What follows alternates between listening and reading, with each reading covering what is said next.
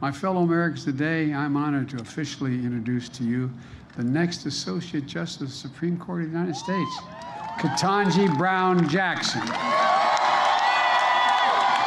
It is an honor, the honor of a lifetime, for me to have this chance to join the court. My name is Kim Tignor, and I'm one of the co founders of She Will Rise.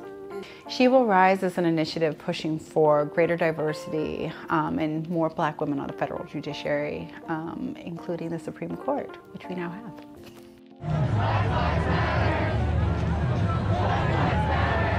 So we launched She Will Rise in the summer of 2020. Um, I remember that uh, I was ecstatic when I saw then candidate Biden make a promise to nominate the first black woman, and you know then candidate Bernie Sanders also made that that that commitment. Um, but what I saw was that that enthusiasm, the energy that I felt that a commitment like that should have generated was just kind of missed.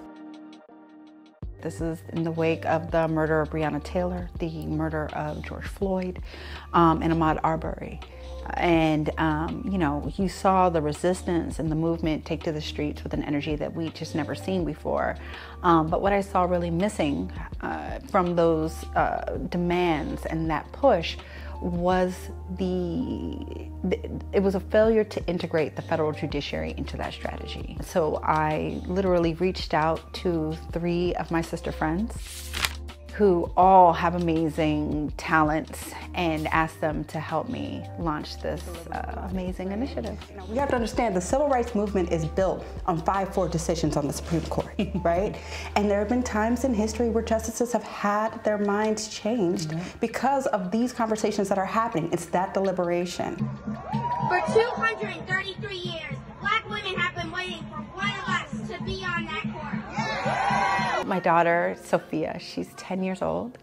And on the first day of the confirmation hearings for Judge Ketanji Brown Jackson, she participated in a rally. For the past two years, my mother, Kimberly Tignor, along with three co-founders, Sabria Williams, April Reign, and Brandy Colander, have been leading an organization called She Will Rise that has been working to get black women nominated to the Supreme Court. She has this amazing grasp and understanding of we are going to be the ones to save us. And it is important that we show up and we step into the place and stand up for our rights and for things that we believe in. Whose court?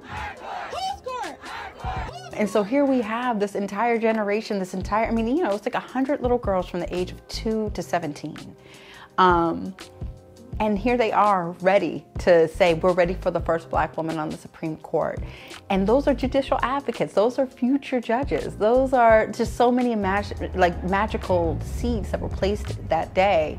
Um, just by helping our girls see a future for themselves. So we're gonna make some noise for the women who had to have uncomfortable conversations and kick in some doors we can celebrate today. So when I say send love and light up in this air for the founders of She Will Rise, I mean that. Let's go. This is what it looks like when you reach out to a sister and you say, we want to start something, will you ride with us? And they have said yes the entire time. I think now and forever they will see themselves reflected in that court.